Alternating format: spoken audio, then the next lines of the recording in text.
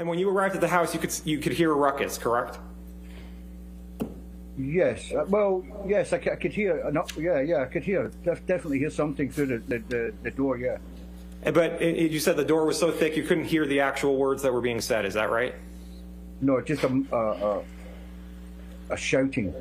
And then you saw, then you went in the house and saw Mr. Depp in the foyer, correct? Yes, correct. And Mr. Depp was trying to urinate in the foyer, wasn't he? No, Mr. Mr. Depp had his penis out of his, pa- out of his Objection. pants, didn't he? I think I would remember Relevance. seeing Mr. Depp penis. I'll allow it. Next question. And you were trying to get Mr. Depp out of the house, correct?